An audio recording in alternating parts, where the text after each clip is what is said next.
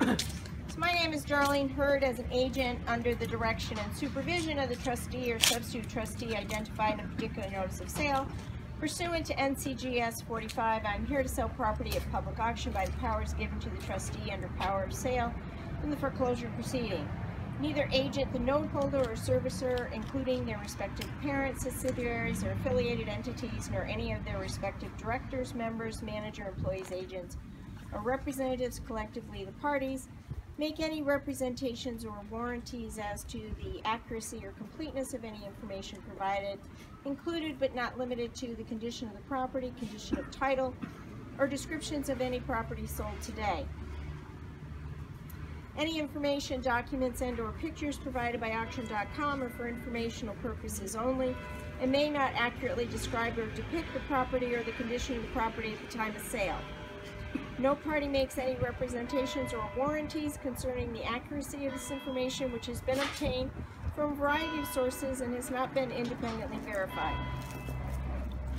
The posting of pictures on any website does not constitute a guarantee or representation by the parties that the correct property is pictured or that any items depicted in the pictures, such as air conditioning units, fixtures, etc., will be present when a winning bidder takes possession of the property. All sales are subject to the current occupancy status of the property. At the conclusion of crying the notice of sale, I shall enter an opening bid on behalf of the note holder. I shall entertain higher bids in increments of at least one dollar, or uh, one hundred dollars, I'm sorry.